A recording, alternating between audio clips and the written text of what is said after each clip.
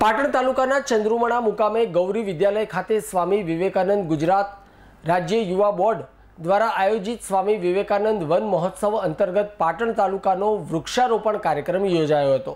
જેમાં અધ્યક્ષસ્થાને પાટણ તાલુકા ભાજપ પ્રમુખ મગનભાઈ પટેલ, ગૌરી વિદ્યાલયના પ્રમુખ ભાનુપ્રસાદ વ્યાસ, જિલ્લા ભાજપના માલધારી આગેવાન ભલાભાઈ દેસાઈ, જિલ્લા ભાજપના વિરેશભાઈ વ્યાસ જિલ્લા ડેલિગેટ દિલીપભાઈ દેસાઈ, તાલુકા ડેલિગેટ લેમનજી ઠાકોર, તાલુકા ડેલિગેટ ઘેમરભાઈ દેસાઈ, પાટણ જિલ્લા યુવક બોર્ડના સંયોજક વિવેકભાઈ જોશી, પ્રિન્સિપાલ સતીશભાઈ જાદવ તથા શિક્ષણગણ અને વિદ્યાર્થી મિત્રો અને ગ્રામજનો ઉપસ્થિત રહી વૃક્ષારોપણ કર્યું હતું અને ગ્લોબલ વોર્મિંગની અસરને નાથવા અને